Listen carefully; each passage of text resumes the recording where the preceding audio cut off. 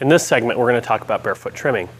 Our barefoot trimming certification is actually probably one of the most difficult certifications to be successful on. There's multiple aspects when it comes to barefoot trimming, but I think two of the most important things that we need to pay attention to is one, protection, and two, balance. And it seems to be that, that oftentimes we'll try to compromise one for the other, and, and I think we can find somewhat of a middle ground. If a horse is barefoot out in the wild on their own, they get to choose the terrain that they live on, where they go, and the paths they take.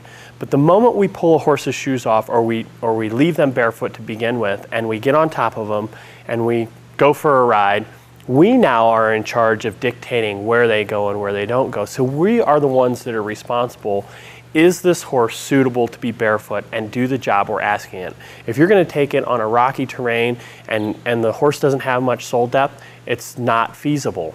So it's our job as hoof care practitioners to pay attention to where the horse lives now, what the environment they're going to work in, and then what the conformation of the foot is right now or, or the protection of the foot. Uh, what we've come to with the ELPO is found that it is when leading a horse barefoot, it is important to not compromise the uh, protection to achieve what someone might call a perfect balance. But I will show you in this segment that we're going to be able to get fairly close. Our barefoot trim certification is done by assessing the distortions like we did in our live sole hoof mapping, and then just trimming away the greatest distortion first. Okay, we're going to go through uh, a few feet in this. I've got, I believe I've got a, a foot that's just had a shoe pulled off. I've got a foot that is uh, negative plane. We're going to go over an upright foot or slightly club foot and uh, a normal foot. So we're going to try to give you some things to look at and show you how assessing the distortions allows you to know what to trim. It gives you that map. Right? Great. We're going to get started. The first foot that we're going to look at is a foot that we have just recently pulled the shoe off. I don't know if you guys can see this. Here are the nail holes. Okay? And we're going to use this horse as an example of a horse that uh, a client comes up and says, hey, I want to pull my horse's shoes and let him go barefoot for the winter. First things that we're going to do is, again, we're going to assess all of the distortions because it's going to tell us what we can or cannot take or what we should or should not take. First thing we're going to do is find our dimple in the back part. Back part of the foot. We're going to look at our central sulcus length. We're going to assess the length of the frog. The length of a frog is a zero. So this frog is not stretched at all. Okay? The width of the frog is a zero. So there's quarter of an inch or more. The health of the central sulcus is a zero. It's rounded and has a bottom to it. Okay. The next thing that we assess is our heel position. This heel and this heel as the last weight-bearing surface. If our dimple is right here, that is directly lined up with our dimple on both sides. Both of our heels are a zero. If we look at our bar, this bar has a little bit more curvature to it. This bar has some curvature to it, but not the same. When we look at this and we assess it, this bar is at a 1. It's got a slight amount of curvature to it. This bar is also at a 1. This one's a 1, maybe a 2. It's probably in between the two. But the only thing that we really need to assess there is that this one has a bit more curvature to it than this one does. Okay? Still, we're a 1 to a 1 to a 2 on this side. So we've assessed our heels, our bars. The next thing we're going to do is assess our toe length because we've got, we know that this tissue and that the frog is not stretched, that is a good measurement, an accurate measurement to be able to get the widest part of the foot. We are going to measure what our toe length is from our dimple forward. Our toe is a zero. It's just a quarter of an inch ahead of that. So the frog length is a zero. The frog width is a zero. The central sulcus health is a zero. The heels are both zeros. And the toe length is a zero. The bars are the only thing that has some distortion here. This bar is a 1, this bar is a 2. Now, it's really important that when we look at this and we've assessed this, this is how this thing works. If you have zero heels, you have a zero toe, then your um, anterior posterior balance is in balance. If you have um, the, your bars are the only thing that says, hey, we're a little bit out, okay? The issue with this particular foot is, again, we said that we're just pulling the shoes off and we're going to let it go barefoot for the winter. We need to assess the depth of our frog. When you take a look at the apex of our frog, if I was to take this and set a straight edge across there, there is less than a quarter of an inch of depth from the apex of the frog to the edge or outer edge of the wall height. There is a little bit more depth in the commissures, but not a lot.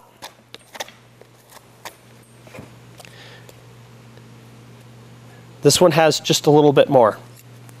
My point about this is you've got this, we've assessed our distortions, all we're going to trim is the overgrown distortion, which means for this particular foot, I might straighten this bar in the back half a little. And I'm going to show you that as soon as I did that, the curvature of your bar has improved. Here's the curvature, remember, of this bar. They are more similar right away. If I take and I assess that again, we are now just barely at a 1, and this one is just barely at a 1. I would choose, if I was taking my exam, to say I'm not going to trim anything out of this. This horse here doesn't need anything done to it.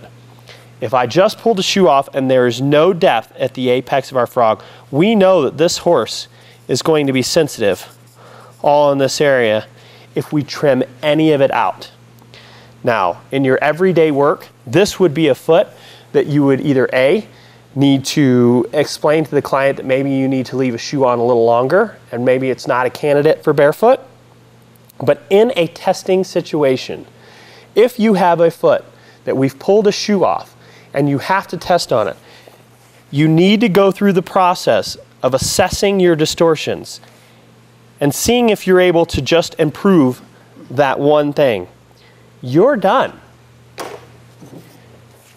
You might want to ro roll this sharp edge. You may not. When you look at the front of this foot and the top of this foot, and we take a look at the distortions or the flare, it's a very minimal amount. There's almost none almost no distortion to this foot at all. Okay? So it's very important that if you get a foot like this and you're in your exam, that you go through the process, you map it out or you assess your distortions. We can still map this foot fairly easily. Again, we've got the widest part of the foot from where the apex of the frog is, is one inch back. You can see where your bars come in. It may be a little bit harder. You're not going to take, this may be a case where you don't touch the sole. Okay, and you're going to take the two out of three and go, here is the widest part of my foot.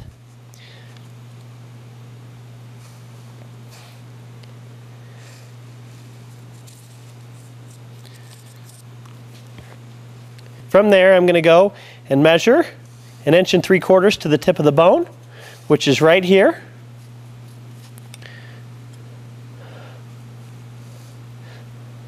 A quarter of an inch ahead of that.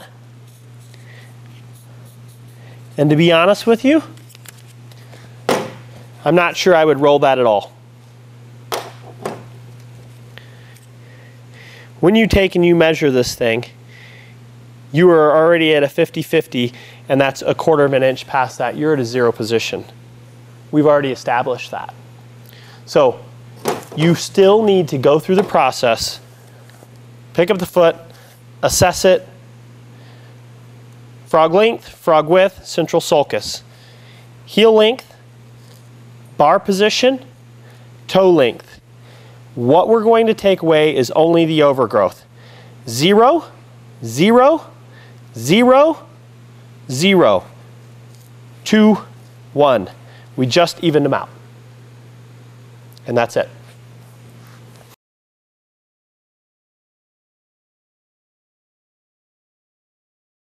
Second foot we're going to assess is a foot that comes in that seems like it's probably pretty good.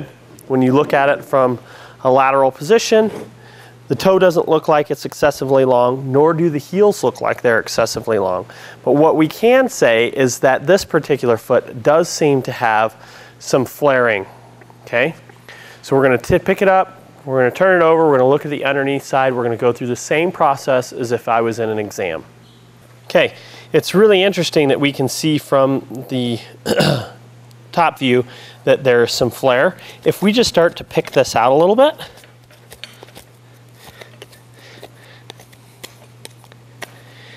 this particular foot is going to tell you quite a lot.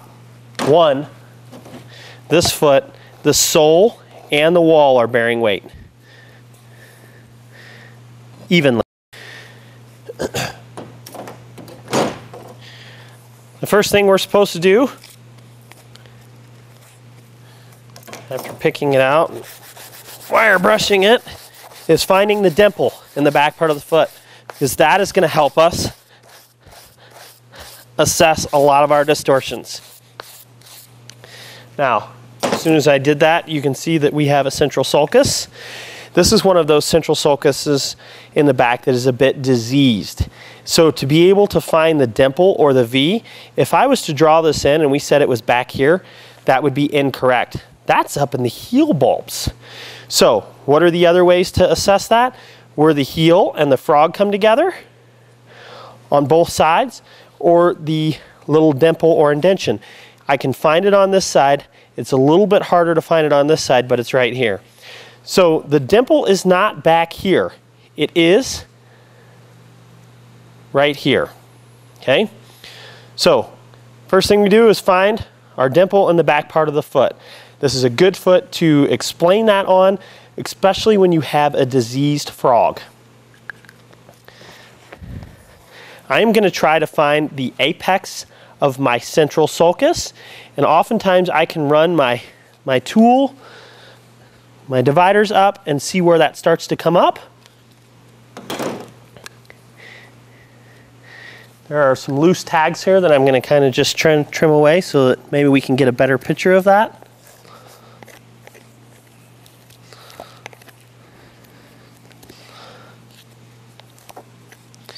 There isn't a whole lot, so you want to be, be somewhat conservative of what you're trimming off of the frog here, because I would assume that this guy is going to need or use quite a bit of it.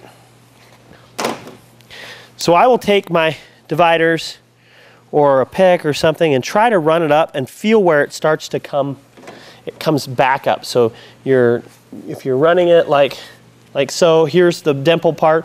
You'll feel it go deep and then you'll feel it start to come back up. And what I'm looking for at the apex of that central sulcus is as that starts to come back up right there when I do that on this one, we hit this spot right here. Sometimes it's helpful for me to draw my central sulcus in. Okay.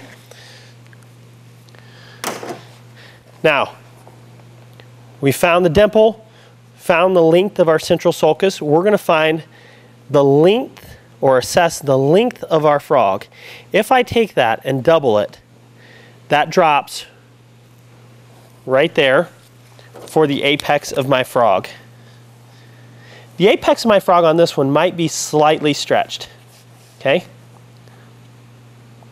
Because this is the true apex. That's where the tissue actually meets up at the moment. My frog length is going to be one. It's a little bit stretched. When I look at the length of the central sulcus compared to the width of the frog, that would be a 1. It is the same size. So this frog is actually a bit diseased and a bit atrophied. When I look at the health of my central sulcus, it's narrow and it is deep, but it does have a bottom to it. So this, the health of my central sulcus is going to be a 3. The next thing that I'm going to assess are my heels. And I look at the last weight-bearing spot of my heel on this side and my last weight-bearing spot of my heel on this side. When I look at that and see where I am in relationship to my dimple, I'm actually at a zero position within a quarter of an inch. Okay? You guys see that? I'm a zero position. So my heels are zero. My bars are a little difficult to see. I'm going to try to draw them in here.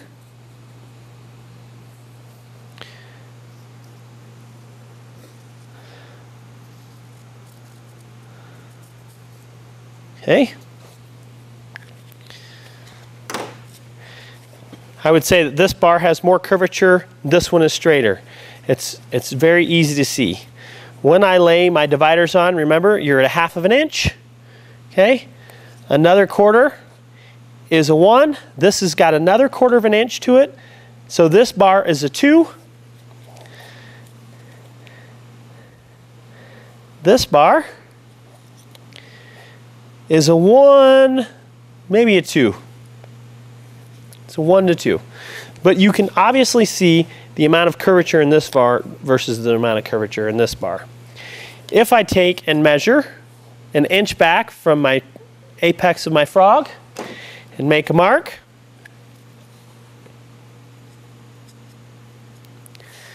You can see that that ends or terminates right about where my bar is there and ends and terminates right about where my bar is there.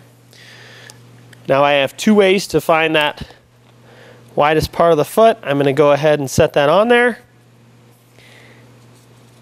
Give my mark for my widest part of my foot.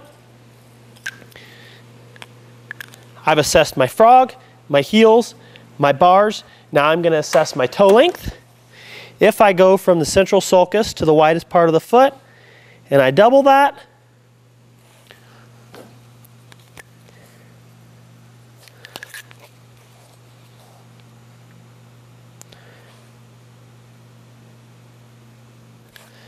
There I am, it's my 50-50. The quarter of an inch is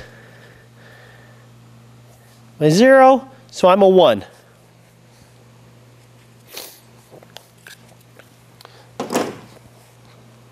Frog length is a one, frog width is a one, central sulcus is a three, my medial bar is a one, my lateral bar is a two, my toe length is a one. So when you look at this foot, you can see that there is not a whole lot to do to it. But the difference between this foot and the last foot is the amount of depth at the apex of my frog is almost an inch, okay?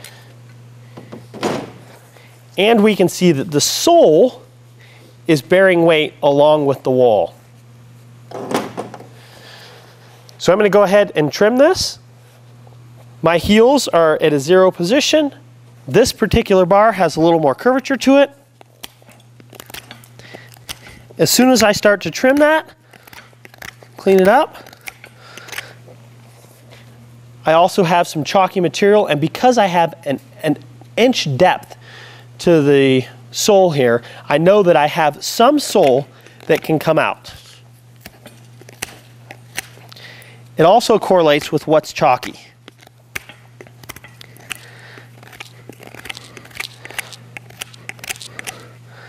Now, just by trimming that side, I have now straightened out my bar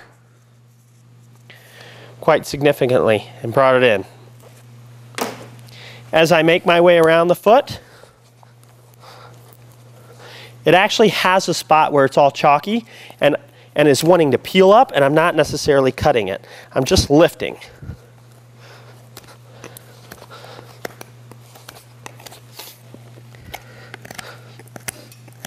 Now remember, we talked about the sole growing evenly from the bone.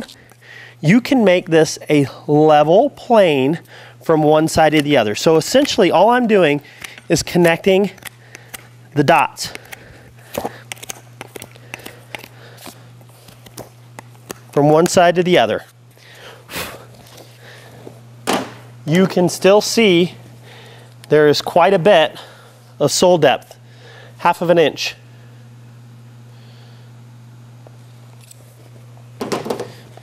But the plane of this sole is the same from one side to the other. And I started by straightening out the greatest distortion, which was this bar. Okay? That gave me the plane to connect the dots from this side all the way around to this side. Now when we look at our bar assessment, on this one. We have brought the bar in on this side. We have brought the bar in on this side.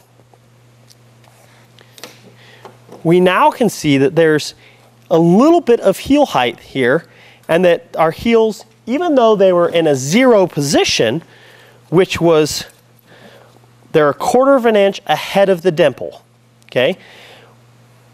This bar curvature told us that there's probably a little bit of room to get that to a zero position. I'm going to address my heels. You can see it's not going to take very much. As soon as I get my rasp and hit it, I get back to a zero position fairly quickly. I didn't lower it. I don't know how many how many rasp strokes that is, but you can see it's not very many. Okay? With the fine side of my rasp. My heels are now at a zero position still. They're not beyond it. Okay? But I've improved the height from the sole plane to the wall and the sole plane to the wall on both sides. Now, we've improved our bars, we've improved our heels. We are not going to improve the central sulcus quality with trimming it today. Now, with getting the foot back in balance, it will help the frog be better. It will help the frog not get stretched but it is not something that you change right now. It is also not going to make the frog wider today. But with exfoliating that and just trimming the distortions, straightening out this bar, getting our heels at a zero position, and using that bar straightness to help me connect the dots from one side to the other, we have a better view now of the sole wall junction. You guys see that? Again, once we assess that, you can see that the sole, once we've drawn the sole wall junction on either side, is more symmetrical. The wall is what's flared. Now, I'm going to take this foot and flip it over, and we're going to address the wall before I address the toe length. When we address the wall, we are looking at, ideally, to go from the hairline straight down. You can see that this starts to flare here on this side. This one, if I was to put a rasp on it, I don't know, can you see that? If I was to put a rasp on it and you looked at the air behind it, you would see that it's straight to about this point here, and then it starts to dish. So the flare on this one actually starts all the way up here. I put this one on, it's straight down to about here, and then it starts slowly dishing out. So it's about being able to assess where the flare is. Now, how you dress the flare is extremely important. If you take your rasp and you are going at it like this, your rasp, you can see, will hit the cornet band and you will miss what you were trying to do. The greatest distortion happens furthest from its origin. So if the wall originates from up here and grows down, that means the greatest distortion is going to be down here. You want to take your rasp in a position where you can get that off quickly. You can see in just a few rasp strokes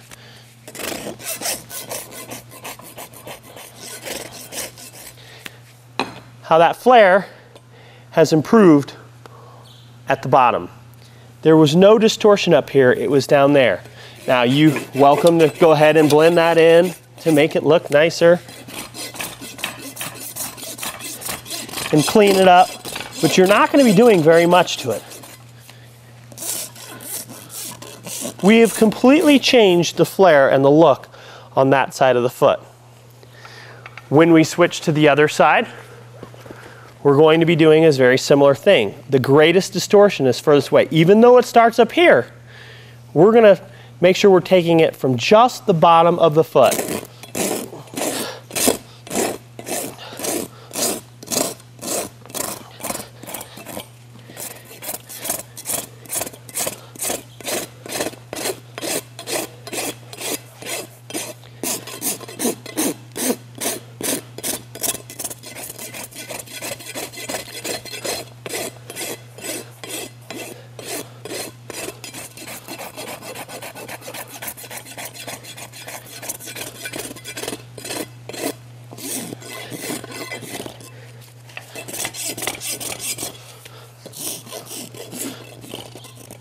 Now, when you look at that foot, the symmetry of that has improved quite a lot. The wall is fairly straight from top to bottom. The wall is fairly straight from top to bottom. And the foot is fairly uniform. It's just about knowing what to take and how far to go. If you're over here trying to follow the flare and scoop it, you will cut it at the cornet band or you will have a bunch of gashes up top. And what ends up happening is you thin the wall up higher and allows the wall to flare or flex even more the next time. We want to address the flare at the bottom where the distortion is the greatest. Now you can see if I, have addressed the flare from the bottom and we've brought in this distance in. We're much closer to the same on both sides.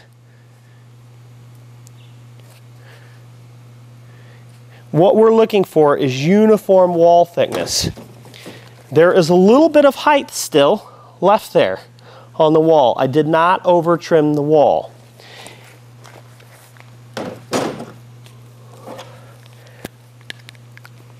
At this point, I am going to map out this foot the rest of the way. I have a fairly clear view of my widest part of the foot. I'll take a straight edge, line it up.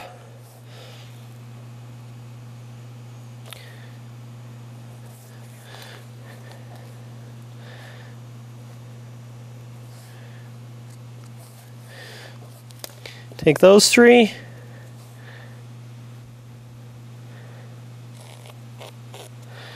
My widest part of the foot. Again, I've already drawn in my bars. I've measured back an inch back from my apex. The last thing to do was to find the widest part of the, or the sole. Okay? From here, I will measure forward an inch and three quarters. From here, I will measure forward an inch and three quarters to the tip of P3. A quarter of an inch beyond that to where we would have our roll or breakover in the foot.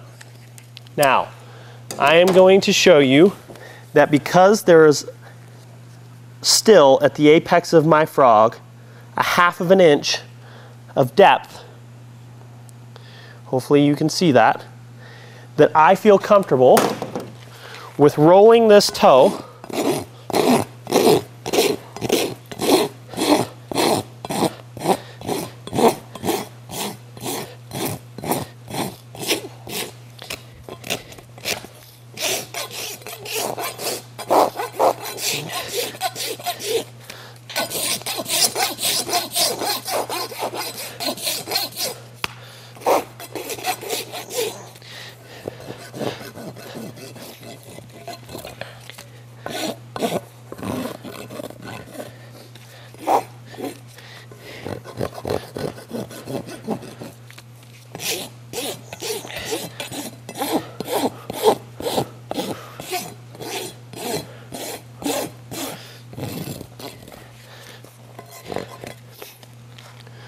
So there.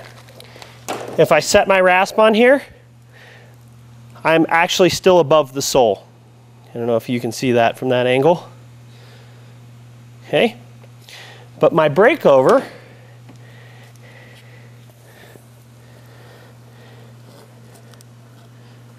is rasped in.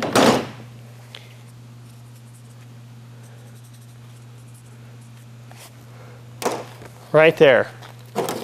If we take and we go from the back part of the foot to the widest part of the foot and go forward, we've achieved more than 50-50. And our ratios for our heels, where our heels end, has achieved a 50-50.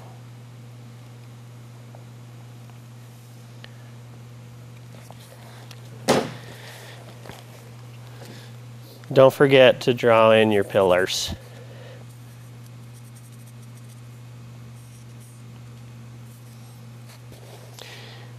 I want you guys to notice that the wall thickness from here to here has improved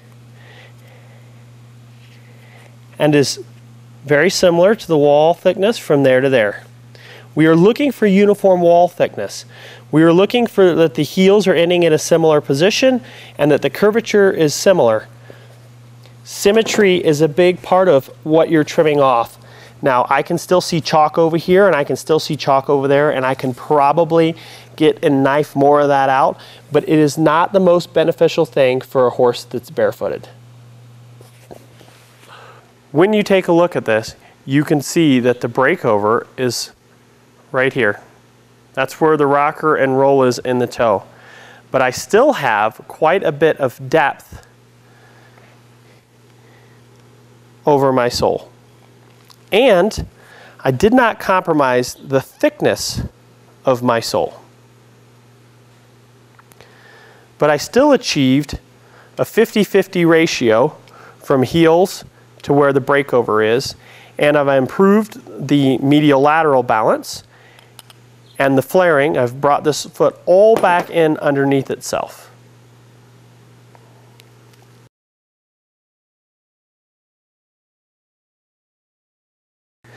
The next foot that we're going to take a look, or the next foot type that we're going to take a look at, would be more of an upright or a club foot.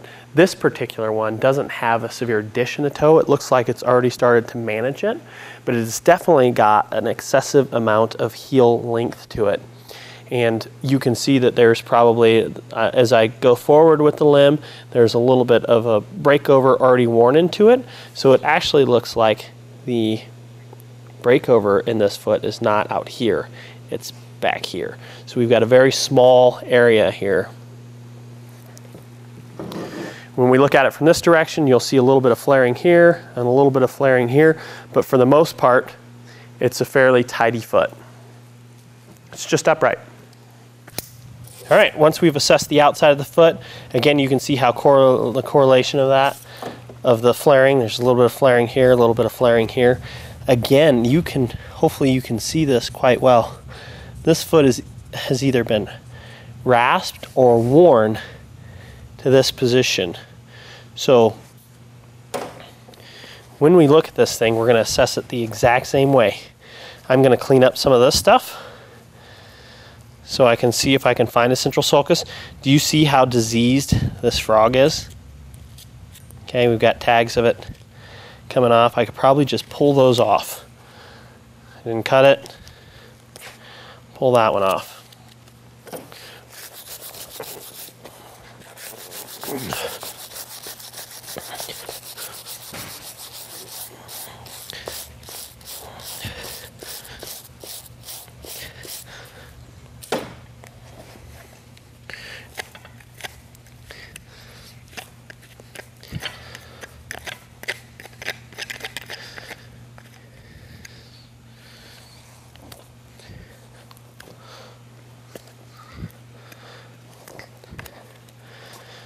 Just trying to clean up any of these loose little tags here so I can get a, an assessment.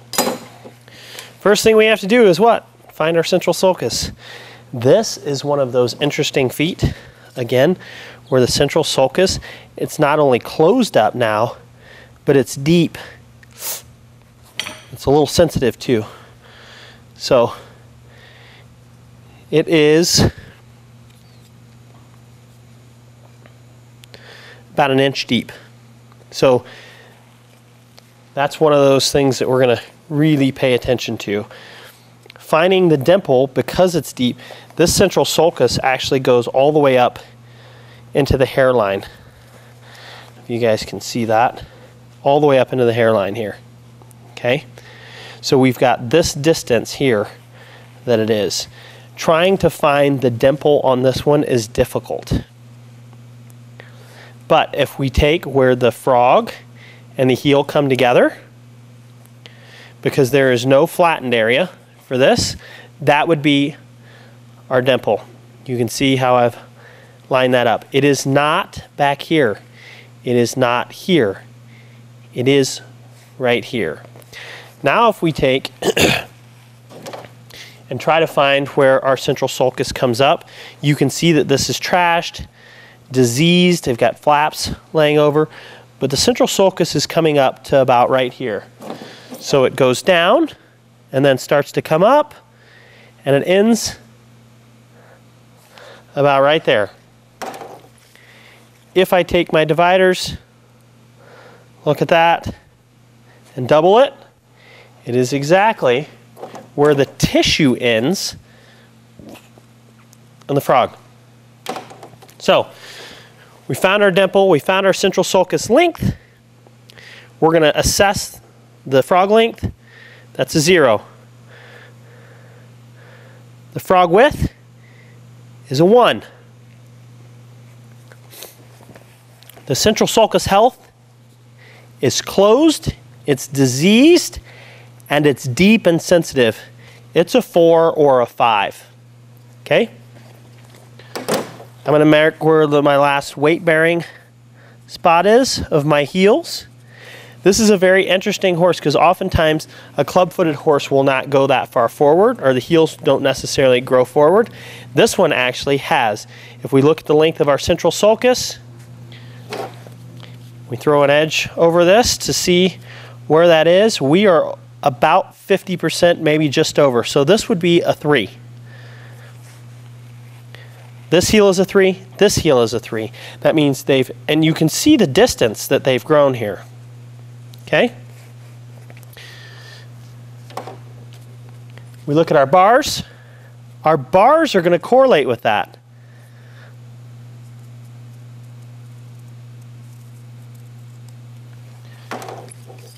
When we stick that over, one, two, three,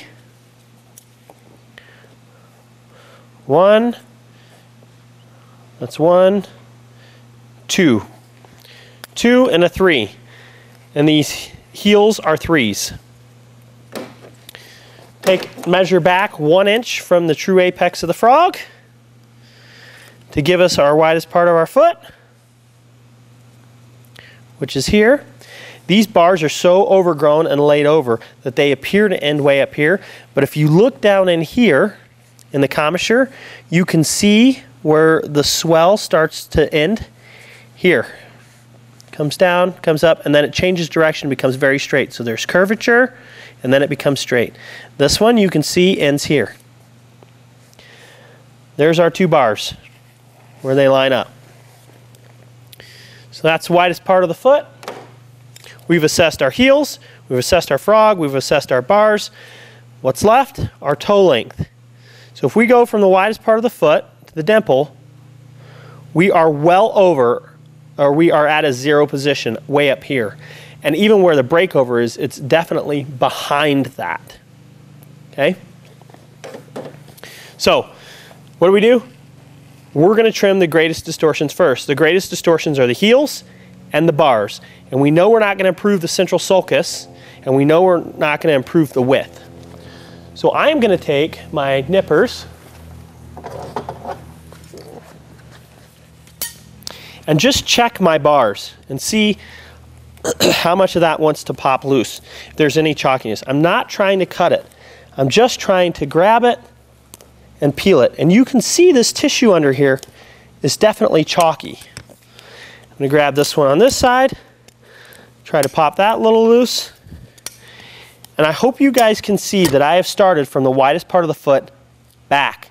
There is minimal distortion, if any, up here on the front half of the foot. I'm going to take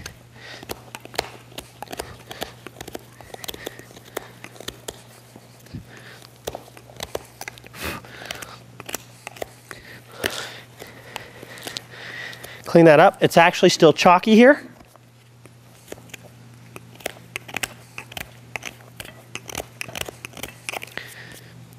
On this side is similar issue. I'm just removing the chalky material.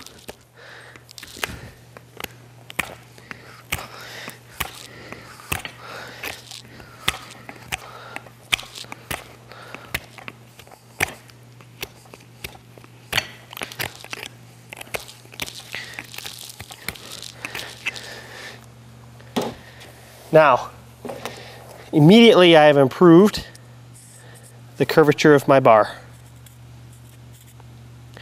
Hopefully you guys can see that. It was way out here.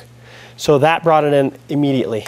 The second thing that did, you remember before on the other foot, that once I got my bars cleaned up and in a similar position, I'm connecting the dots. This plane goes from one side to the other very smoothly which leaves me with my wall height.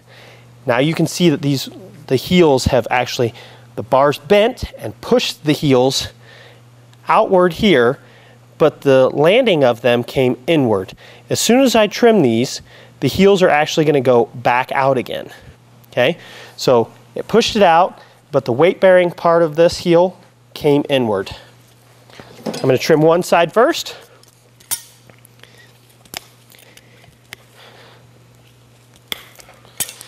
I have now improved my position to a zero position and I'm still above my sole. I'm going to do the same thing on the other side. I have improved my position, but I am still above my sole. The front half of the foot, remember, is no distortion. So now I'm going to use my rasp and get the back half finished.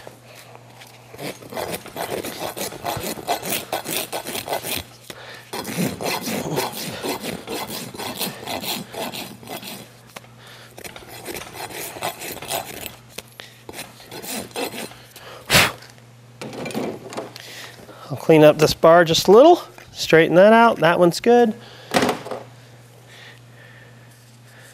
Draw my bars back in. My heel ends here, right at the zero position on this one. I'm still a little bit high on this one. Do you see that? So I'm going to take that. It doesn't take very many rasp strokes, guys, to get that at a zero position. Here are my bars.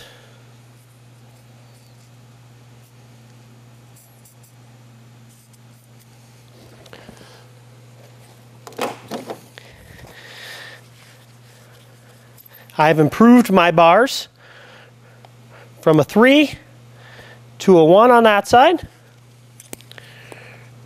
from a 3 to a 1 on that side. So we're balanced inside to outside. Both my bars are 1s. My heels are both at a 0 position. And we know that my toe length is already at a 0 position.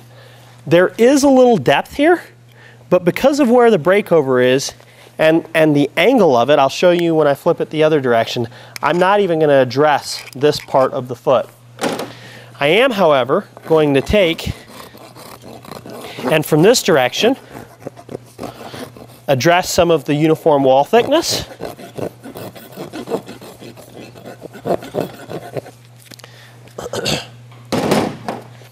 so if this is the edge of the sole, here,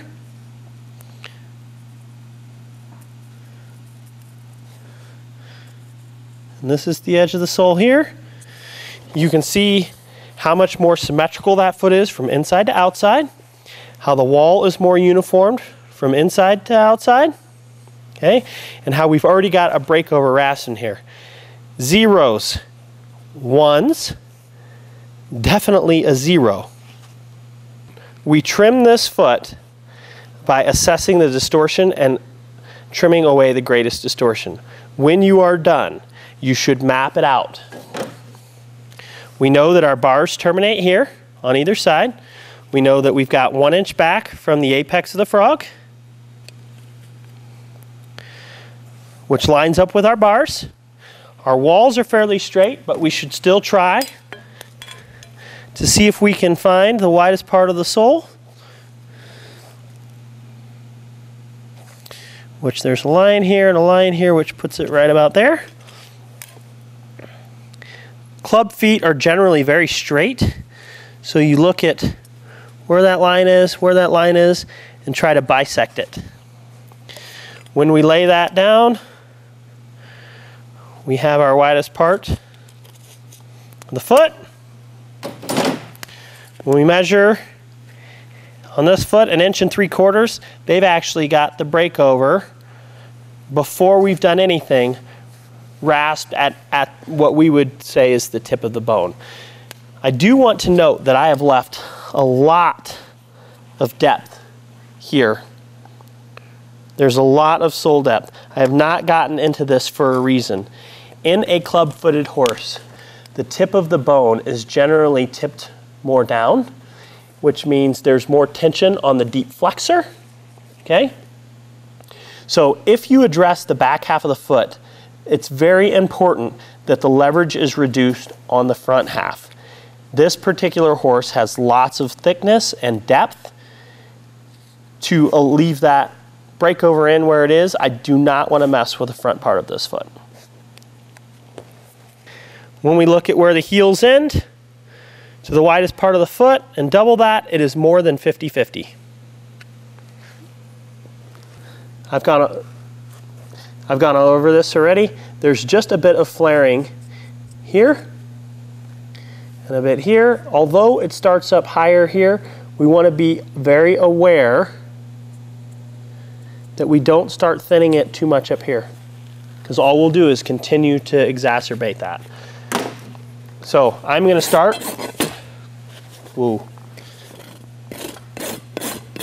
Where the greatest distortion is. Down at the bottom of the foot.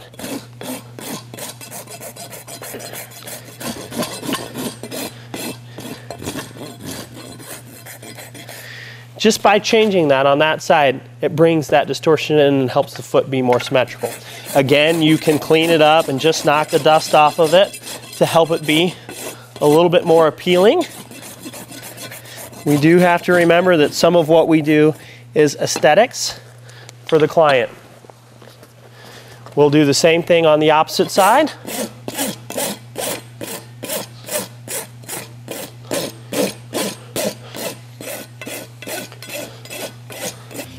Now, you can see there's still a little bit of addition there.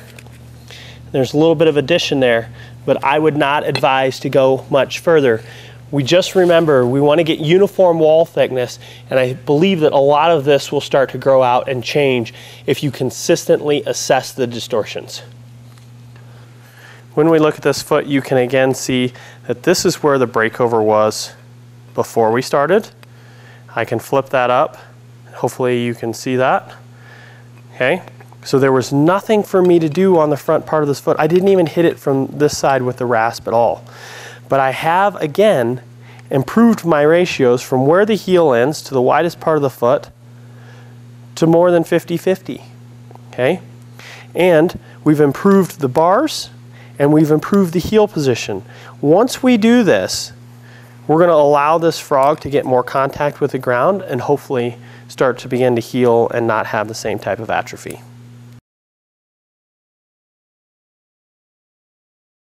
The next foot that we're going to take a look at would be uh, a negative plane hind foot.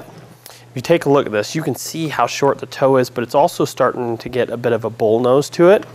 One of the other characteristics of a negative plane hind foot is that there's, because the bone starts to rotate in an upward position, there's more pressure in the heels and the back part, and oftentimes you will see large flaring on either one side or both sides of a negative plane foot.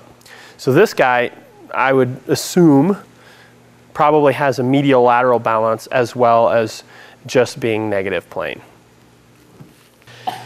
So after assessing the outside and the top, we can start to see some things really, some very prominent things of a negative plane hindfoot. One of the very first things that I will show you is that the width of the frog oftentimes is quite large and great. And so this section of the frog is trying to do more work. It's trying to help support the back half because again, if the bone is, is rotating in an upward position and now there's more pressure on the heels, the frog has a tendency to try to take over and help support the back part of the foot. We're going to go through the same process and try to find a dimple in the back part of the foot. I'm going to clean away. You can see there's some of these tags. Okay. I'm going to peel some of this stuff off, trim some of that up before I get my dimple because I would like to be as clear as possible. I'll take my nippers. You can see here, I'm just peeling that off. I did not cut it.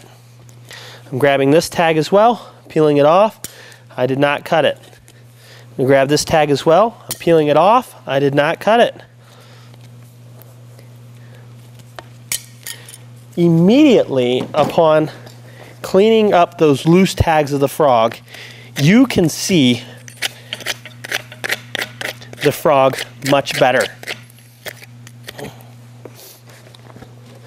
We have a much clearer picture of the central sulcus.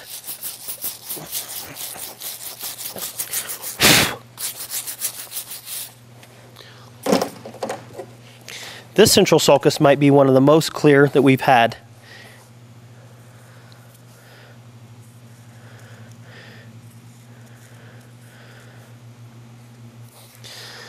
I, I, really, this is one that would be ideal in looking at to help assess, okay? The frog's a little bit pushed over. Some of this is overgrown. But if you look at where the dimple is and where the frog and the heel come together, here and here, there is a little bit of an indention here, a little bit of an indention here. This is the back part of our frog. This is our dimple right here. We take and measure the length of our central sulcus and double it, look at that. The frog apex is not really stretched.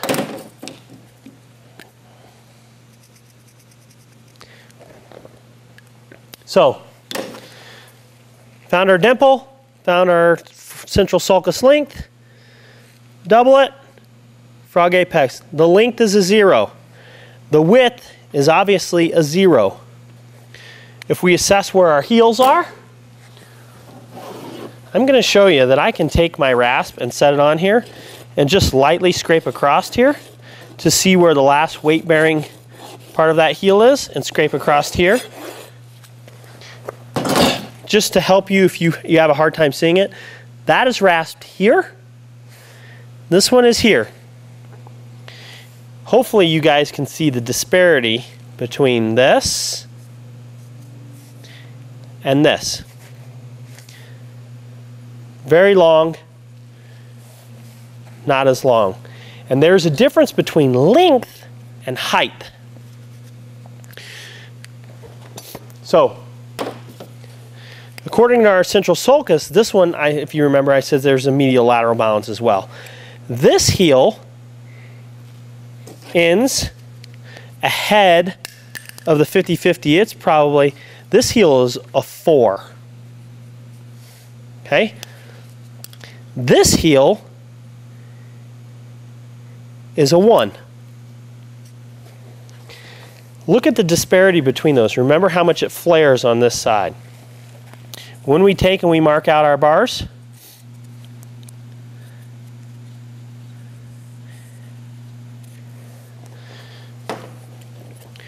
you can see that this bar is a one, two, three, four. Four on this side. This bar, although it has a lot of curvature to it, is actually a one, a two. Four, two. So the distortion back here is quite great. If we measure from the apex back, one inch, which is about where our bars terminate, we can find the widest part of the foot.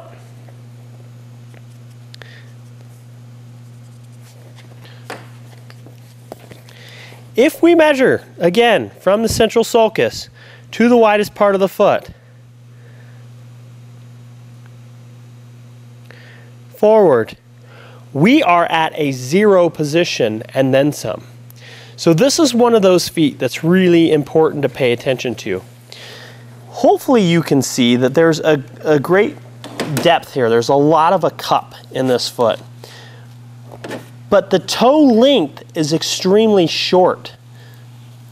Oftentimes individuals want to take this thing and grab this and start cutting this down because it looks like there's a lot of depth. If the toe is extremely short,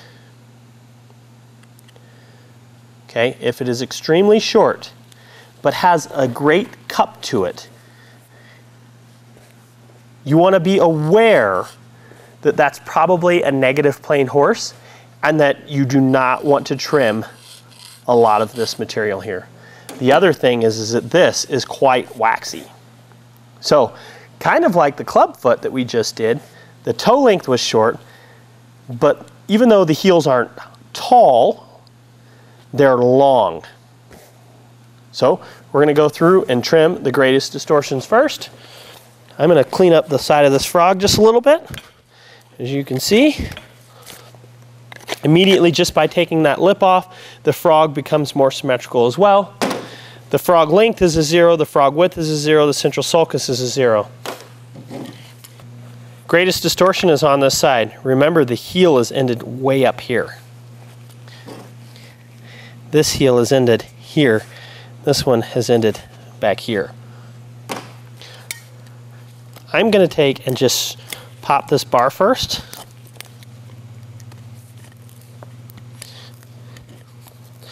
But I'm not going to trim the wall with my nippers. I'm not going to nipper my wall. I'm going to trim this bar here. You can see this loose tag of the sole. I'm just going to stick my nippers in there, pop that loose. I'm not cutting it, I'm just popping loose what's ready to pop out.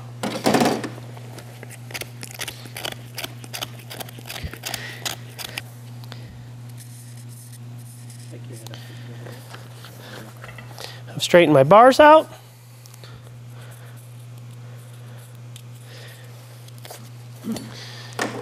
You're immediately going to see that we have now changed the bar position to a zero.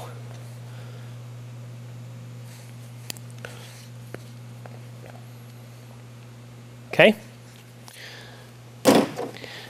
Once I straighten my bars, it gives me a plane to go all the way across here. Okay? Now, what I'm going to show you is that I'm going to change this heel position with my rasp not my nippers. And the reason being is because remember, there's not a lot of height, it's just length. Not height, length.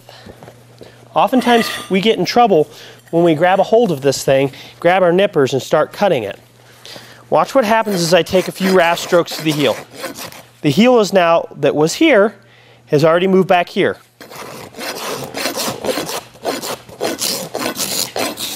I did not take very many rasp strokes and I'm almost there. I'm going to hit this side because it's a little bit in my way.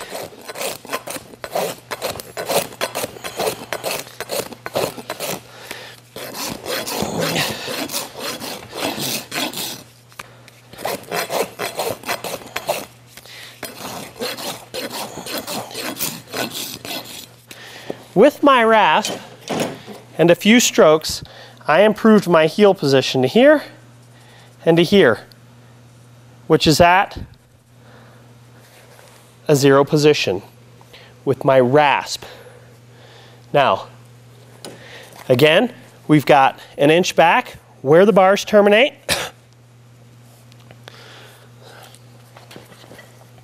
It's a little difficult to see the widest part of the sole. even though I know that that's there, oftentimes because of flaring, so on, the widest part of the sole seems like on hind feet it can migrate.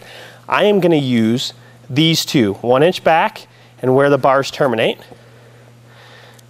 I'm gonna line those up.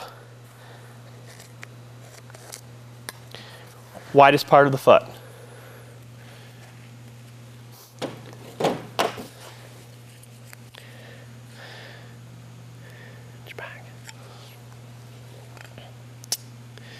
Tip of the bone, an inch and three quarters, two inches to where you would say the breakover would be.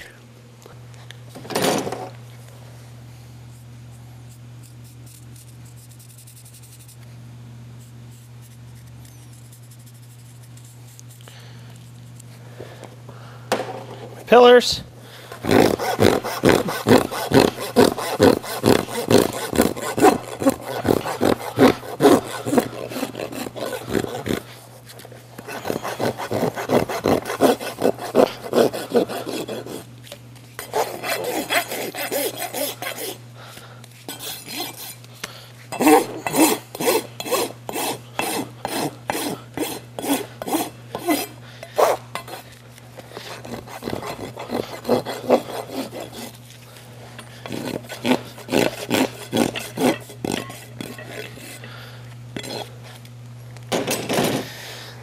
This particular foot, negative plane, heels are at a zero position. Bars are at a zero position. The toe length was already zero and the frog was already zero. But you can see by just improving or trimming where the distortion is, you're going to be able to get your foot balance on more than 50-50 on both of those if you were in a testing situation, there's nothing wrong with going back and going, this bar still has a little bit of a kink to it. I'm going to clean that up just a little bit.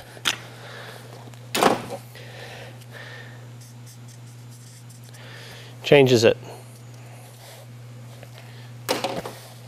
You can see now that we're 50-50, our map, map meets, or reaches it, we were able to achieve the same things by just evaluating the distortions and by just trimming what was overgrown. As we assess this, you can see there's minimal to no distortion on this side. You should still probably clean it up just a little bit. Knock the dust off of it. Be aware that you don't roll this thing. If I was to take it this way, you would see that there's a, a big roll in it, bull-nosed. But I will address the inside at the bottom.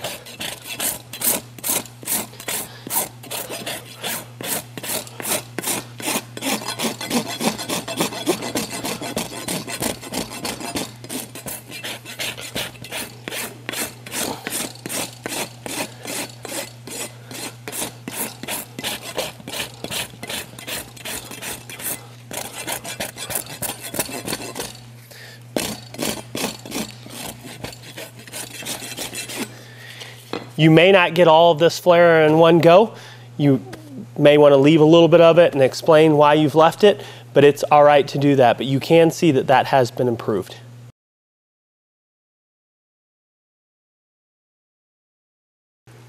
Uh, our last foot is going to be one that actually has quite a bit of overgrowth, depth to it, a pretty good toe flare. When you when you spin it around, or when you look at it this way first, the, the heel height is quite excessive we have probably almost three inches of, of heel length to it. We have a big dish in the toe that starts here.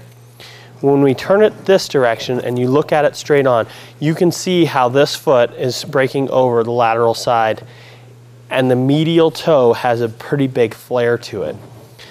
If we were to look at it from this direction, you would just more see the amount of heel height. So again, we're going to assess the distortions and figure out if we can get this thing to function a little bit better. From the underside, once we take a look at the bottom of the foot, we can again see this quite significant toe flare. We see how, I mean, that is an amazing amount of heel. It's a beauty. So the first thing we need to do on this particular foot, when you have this much overgrowth, is that we need to get rid of these loose tags and actually clean up the frog so that we can find the central sulcus. I'm going to take my nippers and just grab this loose tag. And if you see, I'm just peeling it off of there.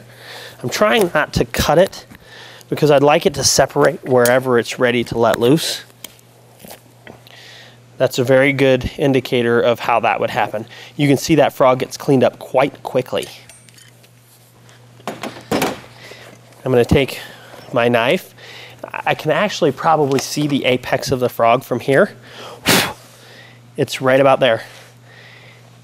Here's my dimple, but this is kind of flapped over here. I just want to take and see how much of that opens up. It does not take very much. I'm going to clean this tag off of this frog.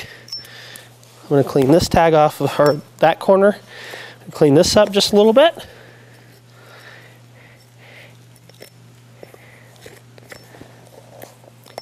That frog changed very quickly.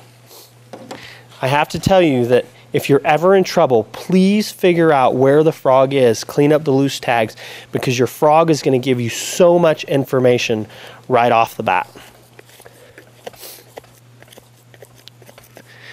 All right, now we can clearly see where our central sulcus apex is. We can see the V, our dimple, the back part of the foot. Which correlates with that. I'm going to see if this separates on this side a little bit. So I'm taking my pick and just grabbing it and seeing if it pops loose there. And it does, actually.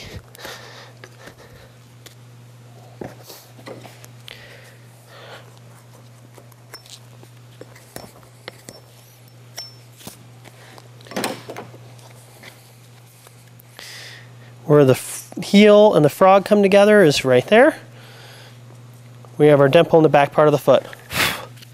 We're going to take our central sulcus, double it. Right there is the apex of the frog.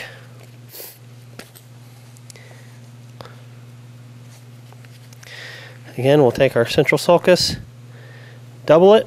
Right there is the apex of the frog. Frog length is a zero. Frog width.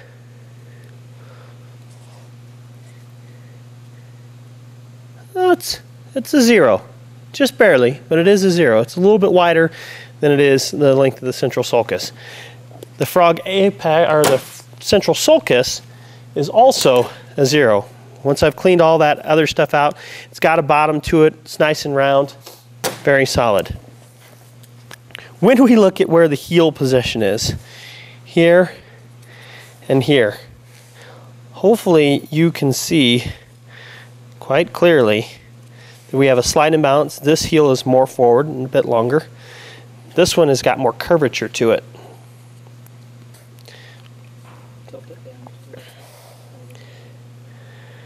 Okay. Our heel position though, if we come down and look at it, on both of these is a 4. So this is a four heel, and this is a four heel. We're going to look at our bars. This bar is here. This bar is here. By laying our dividers down the side here, take that, that's a one, it's a two, so three on this side, two to a three on this side. So let's try it again. One, so two on this side.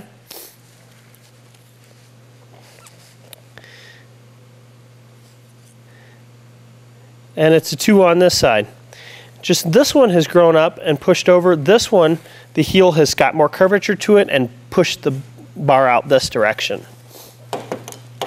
We're going to measure back an inch from the apex of the frog.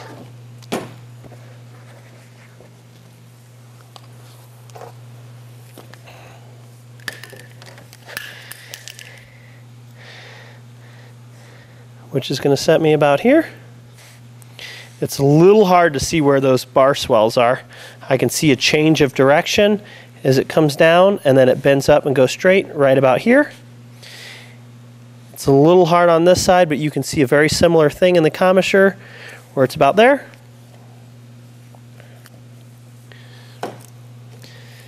I'm going to take and check my toe length from the central sulcus to the widest part of the foot. Forward. We are at a 3. Again, for the exact measurements, make sure you refer back to the hoof distortions protocol. So, the toe length is long, the heel length is excessively long, the bars are extremely distorted, but the frog seems to be fairly good. This is one of those feet that you would look at that is excessively overgrown. Now we're going to take this back. If this horse has been walking around with this much foot, we're going to trim a lot of this off, off of here. And we're probably going to use more of the uh, sole plane to actually get the balance of this foot back. This might be a horse where you have to let the client know that you know he might be a little bit tender for a couple days because we're going to change quite excessively how much foot we're taking off here. It's something that's absolutely necessary. There's too much foot and, and will end up causing pressure necrosis, abscessing, and it puts a lot of strain on the tendons and ligaments around the coffin joint. So this would be one of those cases that's extremely overgrown that we need to use the live sole and getting rid of some of these big distortions to get the actual length of the foot from being here to here. My bars tell me a lot about the plane of my foot.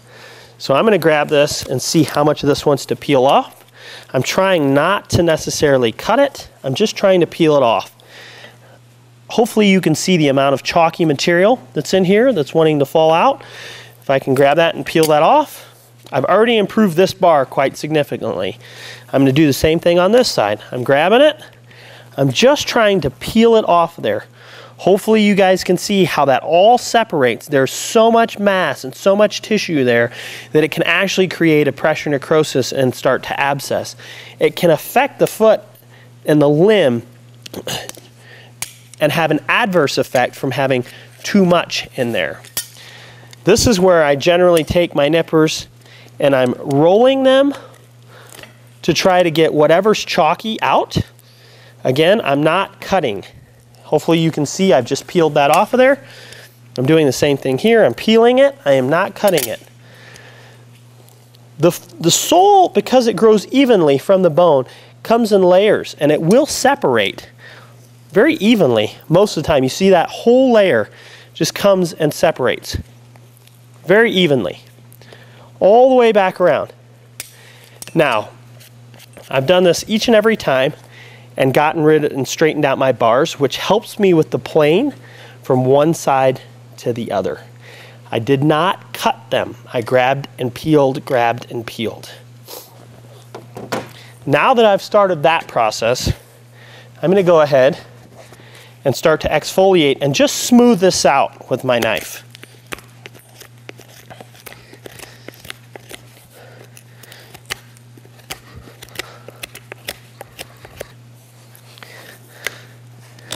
There's still a lot of chalk in this heel. And to be honest with you, we know that these things are excessively long and it's going to be easier for me to get a better balance and a plane of this foot by trimming some of these out of here. So because we've already assessed the, the bars, the heels, the frog, and the toe, I'm going to go ahead and take half of this out of here.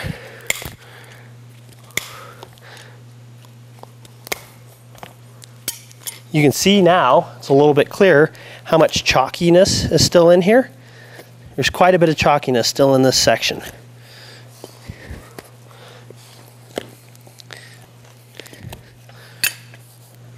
I'm going to take a little bit of this on this side.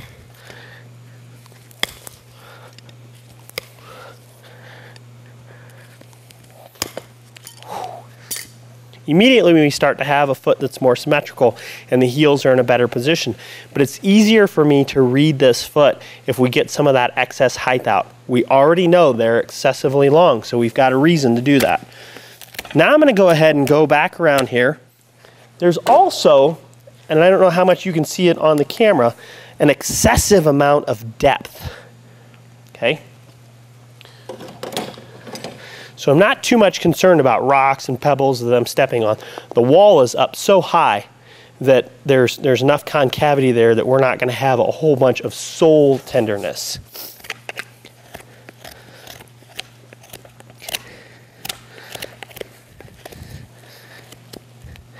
This is a very good example of how it's waxy right here, but right along this edge, chalk. Hopefully you guys can see that. Chalk. There's an actual layer there. As soon as I go to trim that out, the chalk goes from here to here. Where it was waxy before, chalk. So you're connecting the dots from one side, I've hit wax here, to the other.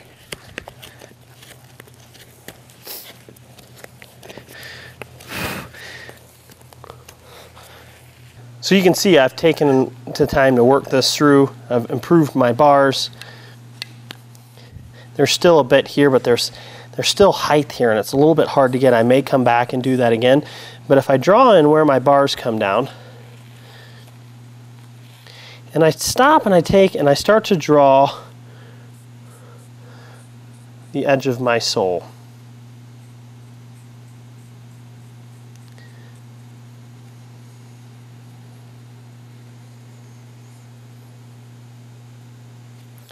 It becomes very apparent how much of the wall is distorted. Look at all of this. But once you get to the waxy material, the foot becomes more symmetrical from inside to outside.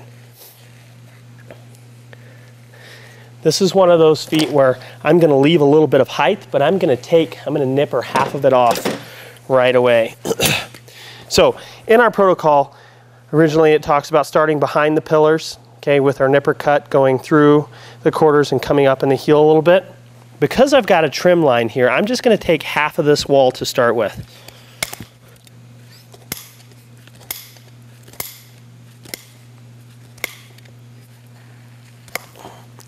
That changes that half of the foot quite significantly and gets us very close to the zero position. If I do this on this side and start here,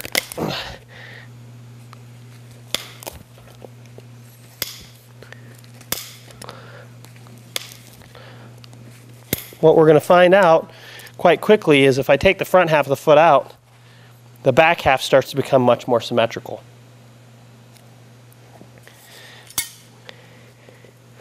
I'm going to go ahead and leave some height there and continue my cut around the foot.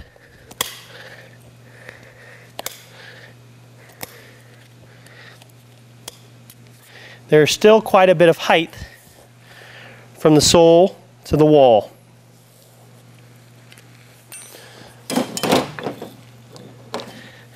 I'm actually going to, because this is a rough trim and a rough cut, I'm going to explain to my examiner, look, I know that this is all rough and that I should go ahead and start rasping and finishing this. I'm going to help my uniform wall thickness because I can see that this is all distorted and it helps my eye start to see the symmetry of the foot and where I need to go. Now, I've still got height here, lots of wall height. At this particular stage, I'm going to finish mapping this out before I do a final trim.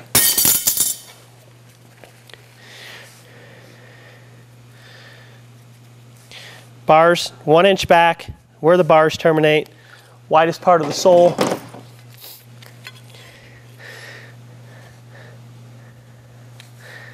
Uh, line here, line here, halfway between those two, there. That one actually shows me it's right there.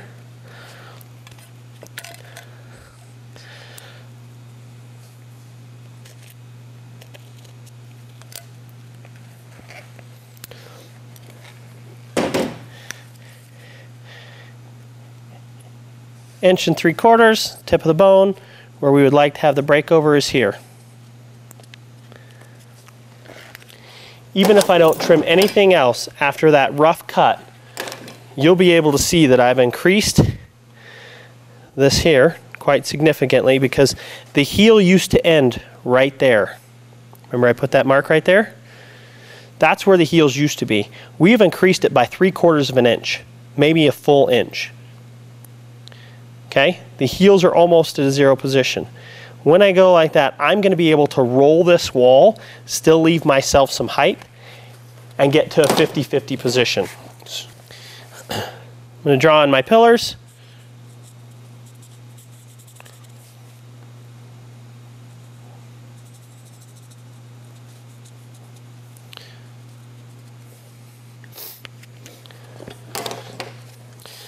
So I've got my pillars drawn in here. I want to make sure that I don't get my rasp into that too much. But I'm going to start the roll of my toe.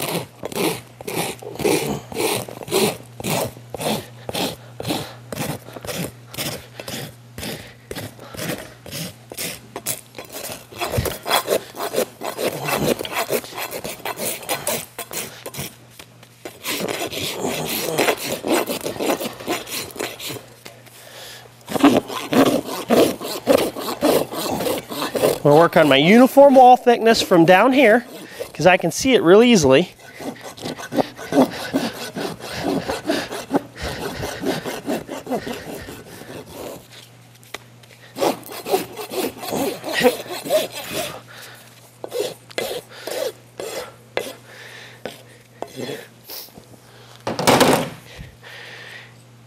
From the heels to the widest part of the foot, from the widest part of the foot to the breakover.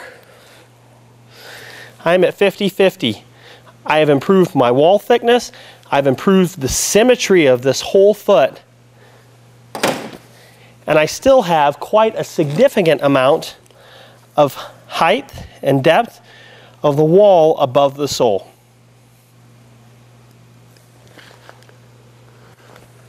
We're going to flip it over and dress it. You can see just by trimming the bottom how much more symmetrical that foot is. And all we did was took off that excess and got uniform wall thickness. But we have a guide now down here of how much of this we can take off because we don't want to go straight from here down because you're going to take too much of the integrity of the wall away. And we have to remember if we take it from here, we should leave some here. Or if we take it all from here, we should leave some here.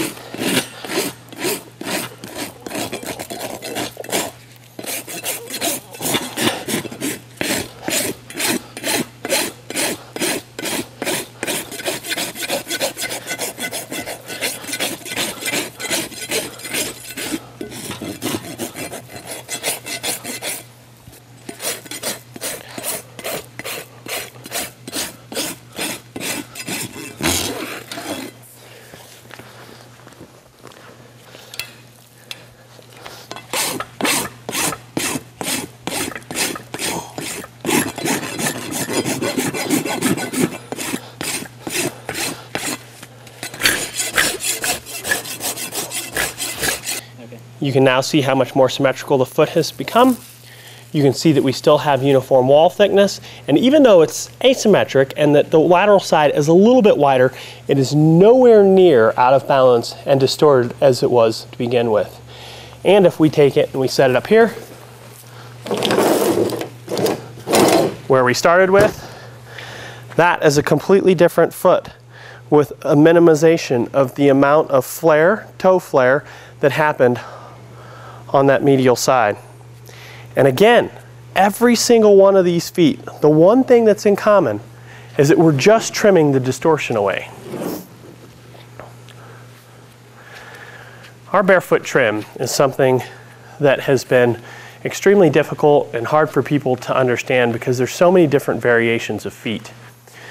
What we're trying to teach and what we hope people start to understand is that by understanding and recognizing the distortions and being able to grade the distortions and then being able to trim the greatest distortion first, we are able to go through a series of foot no matter what the pathology is, no matter what the distortion is, we're able to just trim what is overgrown. And what ends up happening and what it ends up leaving us is a foot that is quite balanced. And we're balancing it to the bone, not necessarily to the limb. But we do know that we can get much closer by balancing the foot to the bone using the sole plane, the widest part of the foot, understanding where the tip of our bone is, and how the heels and the back half of the foot grow and distort. So hopefully this is helpful and gives you a leg up and a, and a head start so when you come and visit us, we're just going to fine tune things. Thank you.